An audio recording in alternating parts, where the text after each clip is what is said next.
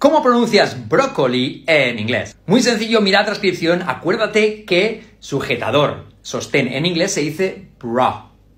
Bra. Fíjate la transcripción con una U después de la R, bra. Y luego añades cli, ¿vale? Cli, como un grillo que sería cri, pero en China sería cli. Broccoli. Do you like broccoli? Coméntame abajo. Sígueme para más super trucos como este aquí en el botón de seguir.